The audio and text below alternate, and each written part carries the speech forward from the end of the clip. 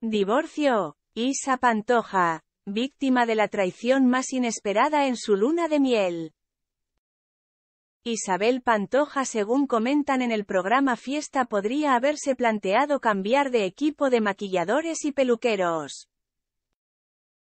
Este pasado miércoles, el programa Fiesta mostraba una exclusión unas imágenes de Isabel Pantoja en un centro de estética de Córdoba.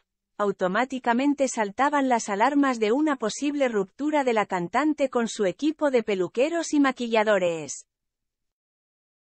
El programa se puso en contacto con la peluquería del centro de Córdoba, a la que Isabel Pantoja acudió. Según Fiesta, en un primer momento, desde el establecimiento ni confirmaban ni desmentían, pero luego la empresa Her Story, El Guapo Habla, peluquería y centro de estética cordobés dirigido por el peluquero Eduardo Raya, confirmaba a través de una historia de Instagram que había sido una visita puntual. Alexia Rivas hace daño a Isa Pantoja con esta información.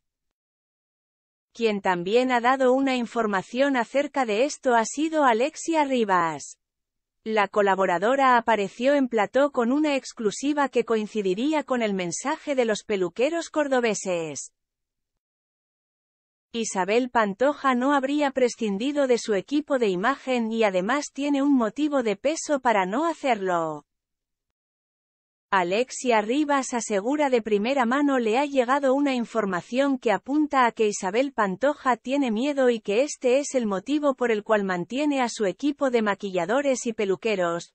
No despide a sus trabajadores por miedo a lo que puedan contar, por miedo a que se sienten en un plató.